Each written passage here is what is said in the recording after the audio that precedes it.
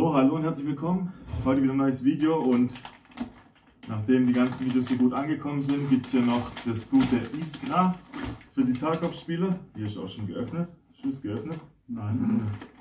Ein gutes Iskra mit Tarnfarben. Also das ist jetzt quasi ein russisches.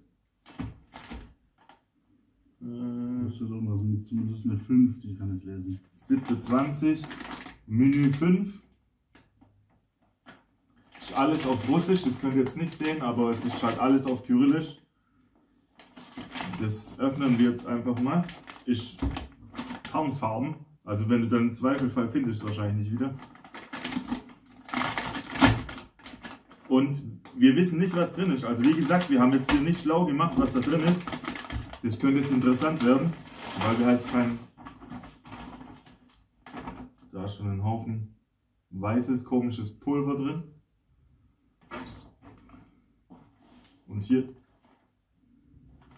noch mehr ist vermutlich Zucker natürlich, nichts anderes. Irgendwas ist schon, hat sich schon geöffnet wohl aus dem Weg von Moskau hierher. Hast du die Rechnung? Haben wir die Rechnung da? Ich weiß gerade nicht mal, was ich dafür bezahlt habe. Aber wir packen es jetzt schon mal aus oder ich fange schon mal langsam an, es auszupacken. In Tarkov nimmt er das ja immer und nimmt quasi nur so Kekse raus. Kekse sind hier auch zu finden. Ähm, ja, Kekse, vermutlich salzig. Könnten aber genauso süß sein. Hier ist jetzt schon eine Packung Zucker aufgegangen, deswegen haben wir jetzt überall hier Zucker liegen. Wahrscheinlich, oder Salz, könnte es auch sein. Ist das hier Pfeffer? Wird das wahrscheinlich Zucker oder Salz sein? Ach du Scheiße. Beutelweise vermutlich. Was steht hier? Steht es irgendwo auf Englisch drauf? Nein. Okay, vermutlich Zucker. Haufenweise. Oder es ist offen. Hier sind Löffel drin. Drei Löffel. Keine Nicht Ahnung. gefunden, ne? Ich versuche es mal nachzurecherchieren, aber weiß jetzt gerade nicht, was ich bezahlt habe. Hier ist ein Apfel drauf. Gut. Er steht halt wirklich nur auf Russisch drauf. Das ist Zucker, oder? Das ist ein Haufenweise Zucker, Pfeffer, Salz wahrscheinlich. Ich meine, das, was hier Ja, ja, das ist Zucker. Apfel. Ich vermute mal Apfelmarmelade. Äh. Hier ist ein Pulver drin. Also die machen keine Gefangenen. Hier ist nichts Internationales drauf, nur Kyrillisch. Gut. Pulver. Hier ist jetzt was drin, was das werden wir ähm, vermutlich als erstes aufpacken. Das hier. Noch mehr Pulver, noch mehr Pulver. Müssen das gleich mal rausfinden. Hier ist eine Mahlzeit vermutlich. Wie so ein, wie so ein Hunde, Hundefutternapf, so ein Katzenfutter. 250 Gramm vermutlich. Oha. Ach du je, okay. Also drei Essen, drei Löffel vermutlich. Oha. Ist der massiv oder was? Ist 18 abgelaufen, ist egal. Das ist dafür ausgelegt. Ah, gut. Hier gibt es eine Anleitung und Kalorientablette. Ich finde aber keinen europäischen Buchstaben. Also fangen wir mit dem herzlich wenig an. Hier haben wir noch. Oha! Dry Fuel. Tri-Fuel, das gute Tri-Fuel. Das ist gut was wert. Hauen wir auf jeden Fall gleich mal auf den Flohmarkt. Das ist jetzt ähm, ein S-Beat-Brenner, nennt sich das, glaube ich. Das werden wir jetzt hier drin nicht testen. Oha. Ja, das riecht so nach Rosinenbrot. Was ist wirklich essen? Hm, ist gut. Ich kenne es von früher. Nichts anderes. Weiß noch. Mhm. Kennen wir von früher, ja. Das ist ein kleiner Kocher. Ich packe es jetzt nicht aus, das ist quasi ein Edelstahlgestell, kann man hochklappen. Dann kann man den Trockenfuel, also Dry Fuel, in die Mitte legen, anzünden und kann man dann ähm, quasi diese wahrscheinlich damit erhitzen. Und diese Essen halt, die kann man dann so draufstellen. Wenn ich mir nicht sicher bin, ob das hebt. Aber dafür ist es auf jeden Fall gedacht. Also hier nur zum Warmmachen. Wird es noch nicht in geschlossenen Räumen machen, oder zumindest nicht zu viel. Aber an sich coole Sache. Streichhölzer, die beim ersten Windstoß nicht ausdehnen. Eieiei. Das sind Streichhölzer, die sind wie so Fackeln. Ich weiß nicht, ob ihr es seht. Hier ist eine Reibefläche, das sind Streichhölzer. Da ist richtig Brennstoff bis unten drin. Also die gehen bestimmt richtig ab, die Streichhölzer. Auch wasserdicht verpackt. Hier ist. Was ist das? Also das ist auch irgendwas zu essen hier, gell? Ja. Ich verstehe halt nichts. Das sind bestimmt so Reinigungstabletten. Ah ja, das sind Wasserreinigungstabletten, die ich jetzt ruiniert habe wahrscheinlich. Noch mehr zu essen, noch mehr zu essen. Okay, hier. Kaffeebohnen, also Kaffeepulver. Das wird Tee sein, Pfefferminz, ja, Pfefferminztee. Hier ist nochmal Menü Nummer 4. Äh, Servietten sind dabei. Werden wir das mal hier ähm, haltbar. ja, gut, ist ja egal. Das ist egal jetzt. So, hier ist ein Haufen Zucker. Der Speedkocher mit Streichhölzern, coole Sache auf jeden Fall. War jetzt auch sonst noch nichts dabei. Ähm, ich würde sagen, ich vermute, die sind entweder geschmackslos oder salzig. Was denkst du? Sehen aber alle gleich aus, gell? Weil hier irgendwie so eine Apfel, äh, Apfel Marmelade vermutlich drauf ist. Das ist irgendwas mit Rind, Rindereintopf. Rindereintopf. Einfach aufmachen und probieren, oder? Ja. Ich meine, scheiße, bei sowas ist glaube ich egal, wenn das abgelaufen ist, oder? Ja, ja, ist egal.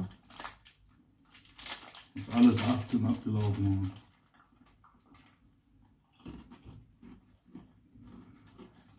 So, boah, ist die nicht. Geschmacklos. Ja. Also für Salz. Ja komm, dann mach doch mal hier das, das da auf, oder?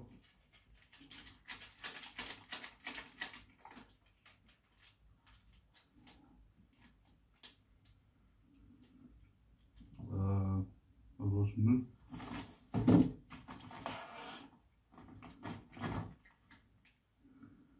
Mit Erdbeermarmelade. Ein Nein, bisschen. Apfel. Doch Apfel, aber. Bei Malare wäre ich jetzt, wäre ich jetzt nicht so sicher wegen der Haltbarkeit, oder? Es riecht schon etwas mostig, kann man sagen. Hm, Ich weiß nicht. Dann tu es lieber weg. Also das ist jetzt das erste, wo wir erwischt haben, wo schon abgelaufen ist. Also wo auch die, die Sachen off- offensichtlich schon seit zwei Jahren abgelaufen sind. Gut, ist nicht schlimm. Ja, ist jetzt machen. nicht schlimm. Wir gucken ja erstmal, in erster Linie geht es darum, was auch drin ist. Machen wir das auf. Rindereintopf.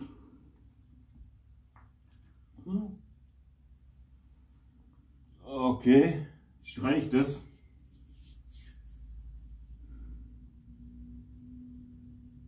Das ist aber gut. Okay. Sieht auf jeden Fall nicht so appetitlich aus. Ja, das ist halt nicht mehr gut. Oder was meinst du? Nee, es sieht echt nicht mehr gut aus. Ja, es riecht halt nach so, aber es sieht definitiv, ist weit davon entfernt, irgendwie essbar auszusehen. Aber eigentlich müsste es in Ordnung sein, aber ich weiß jetzt nicht, wie es halt eigentlich aussehen sollte.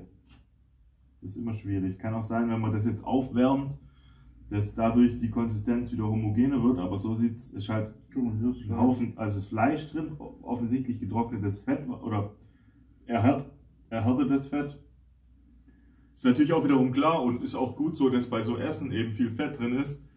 Das hat ein Kumpel von uns auch wieder gesagt. Also die, die Rationen sind wirklich dafür ausgelegt, in Notsituationen, wenn du extrem viel Kalorien verbrauchst, dafür sind diese Essen ausgelegt. Wenn du jetzt daheim vorm Fernseher hockst und dir das reinknallst, dann haust du wahrscheinlich die fünffache Menge an Kalorien rein, wie wenn du ein normales Abendbrot isst. Also die sind wirklich so ausgelegt. Und was wir heute jetzt hier auch nicht wissen, ist, ob man das warm machen muss oder ob das theoretisch Ja. auch wäre, kalt zu essen. Also ich gehe davon aus, dass man es kalt essen kann, aber es sieht so aus, als es dafür gedacht ist, warm zu machen. Und dafür spricht halt auch dieser SB-Brenner, den wir hier haben. Wie man von Löffel. Also ich will es jetzt nicht probieren, ich will mal, mal gucken. Es ist halt, die Konsistenz sieht so aus, wie wenn du es warm machen musst. Das, da ist ein haufenweise erkaltetes Fett, was ja nicht negativ ist. Also du kannst es mit Sicherheit auch essen, aber es ist halt wahrscheinlich nicht wirklich genießbar jetzt. Oder es ist genießbar, aber wir müssen es jetzt nicht probieren. Jetzt, das hier interessiert mich mal noch. Das nehmen wir Ja, wenn, wenn, ich jetzt, wenn ich jetzt wüsste, dass das jetzt definitiv nicht kaputt ist, dann Okay, das sieht aus wie Butter. Nee, es ist Käse, tatsächlich. Riecht auch noch ganz gut. Mhm. Ja, aber Also ich riskiere es jetzt mal.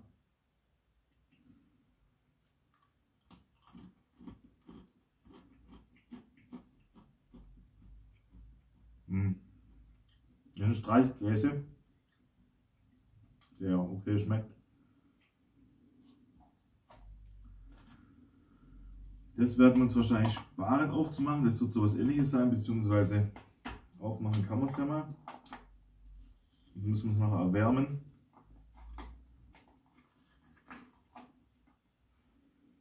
Ja, also es, es riecht, es riecht tatsächlich. Es riecht essbar.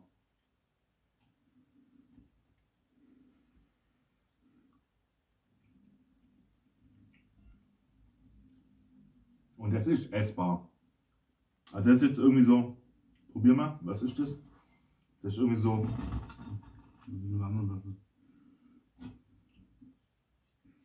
Also es schmeckt gut, definitiv. Bei dem anderen ist, wie gesagt, das ist jetzt mehr als so eine Sache, das möchte ich jetzt halt nicht essen, weil du das mit Sicherheit besser essen kannst, wenn du es erwärmst. Aber also es schmeckt unbedenklich, es ist wirklich noch in Ordnung. Hier ist auch die ähm, Konsistenz anders. Also bei dem siehst du halt das, was ich hinauf will. Oder da ist das Fett halt erkaltet. Wenn man das warm macht, wird es ja wieder flüssiger und dann hat man eine homogene Masse. Ja, Und auch wie so, So ein Salat. Gulasch. Gulasch, Salat mit Nudeln. Ein typisches Ding. Also Das sieht aber eher nach Kartoffeln aus.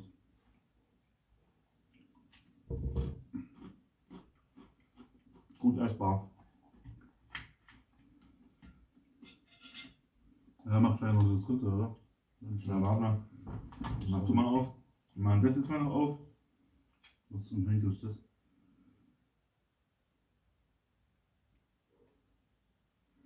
Was ist das? Keine Ahnung. Also das sieht jetzt schon wieder ein bisschen interessanter aus. So wie so ein Kürbispüree. Aber es, Das kann, ist das so Kürbisaufstrich? Das kann schon sowas sein. Okay, hier haben wir. ich muss jetzt gerade noch ein bisschen mehr probieren.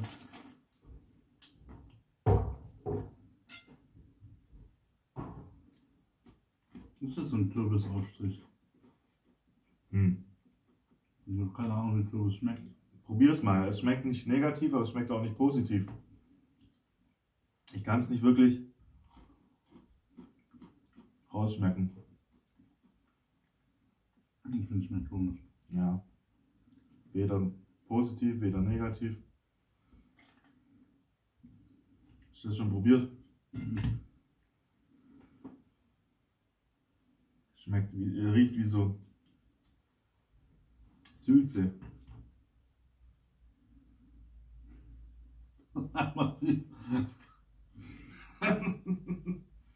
Ja, wie so, wie so Einmachwurst, weißt du, wie du, diese, diese Jagdwurst oder.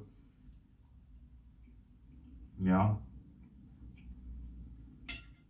Vermutlich ist es besser in dem Moment, dass wir nicht wissen, was es ist. Aber es ist essbar. Aber ich will es nicht wissen. Ich will es. Oder schreibt es in die Kommentare, wenn ihr wisst, was das heißt.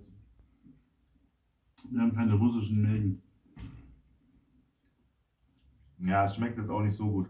Hm. Ich glaube nicht so für den europäischen Markt. Beziehungsweise für unsere Altersklasse gemacht. Okay, das, da freue ich mich drauf. Leberwurst. Ja. Einfach Leberwurst. Ich bin kein Leberwurst-Fan, muss ich sagen. Sehr gut. Aber probieren Sie es trotzdem. Ja, mh, Leberwurst, es kennt. Kann man will man noch so Käse probieren, aber das habe ich noch nicht. Was mich jetzt noch interessiert, ist dieses Pulver. Kohlenhydrate wahrscheinlich.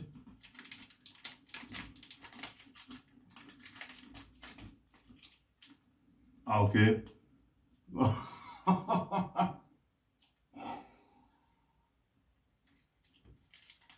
Das ist ähm, Mineraltrink, fruchtig, Guck, riecht guck, richtig guck heftig. Wie, wie viel da rein muss, weiß ich nicht. Ja, ich tue mal ein bisschen was rein. Ist wahrscheinlich für ein paar Liter. Wasser oder was? Ja, es ist richtig viel. Aber riecht übel fruchtig Und übel süß. und aber- übel süß und so wie man das, wie man sich vorstellt. Muss man kurz, glaube ich, einwirken lassen. Reinigungstabletten hat man ja hier. Ich will, ich will eigentlich kurz so ein Streichholz anmachen, fuck ich dann die Bude ab. Mach das Fenster auf. Den Käse will ich noch probieren.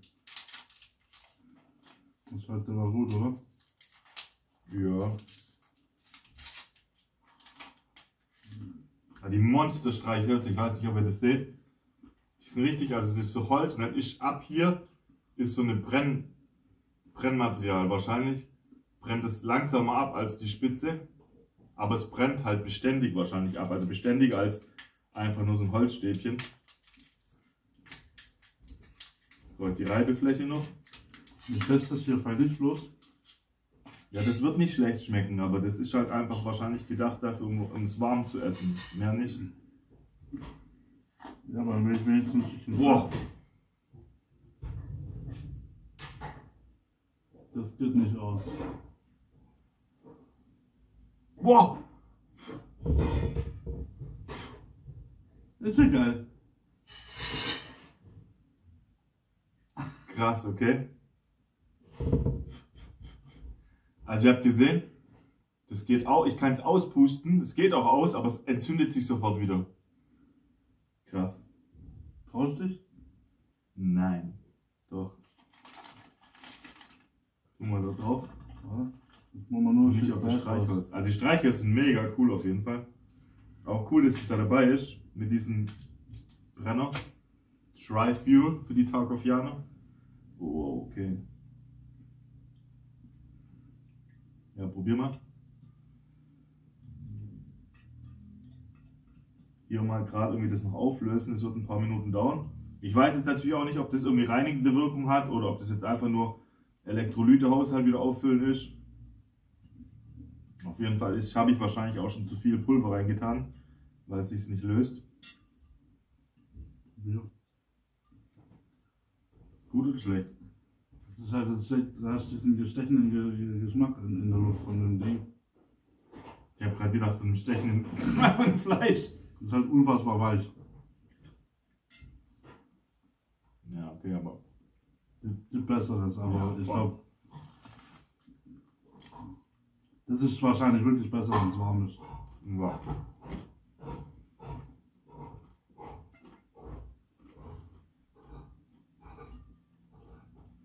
Oh, mach mal ruhig das Fenster auf.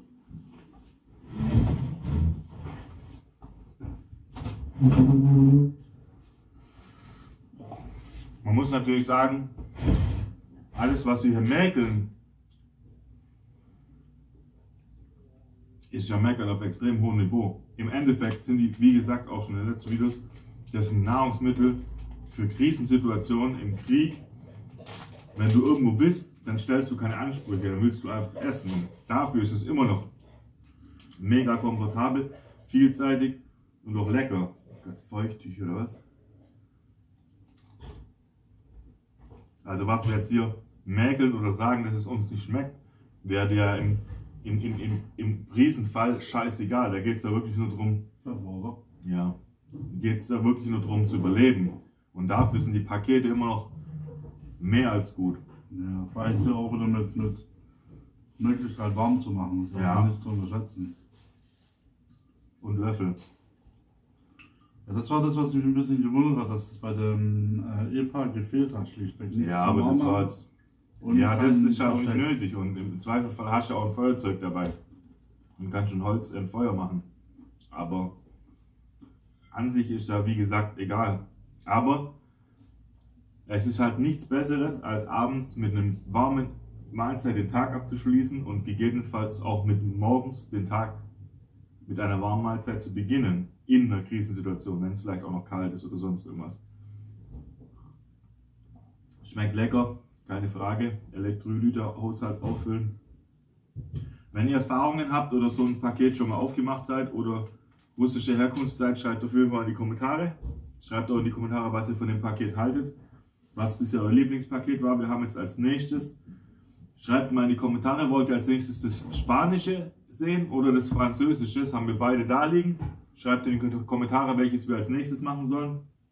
Oder welche wir generell nochmal probieren sollten. Und dann auf jeden Fall gebt natürlich einen Daumen hoch und abonniert den Kanal, wenn ihr mehr sehen wollt. Und dann sage ich vielen Dank fürs Einschalten und bis zum nächsten Mal. Ciao.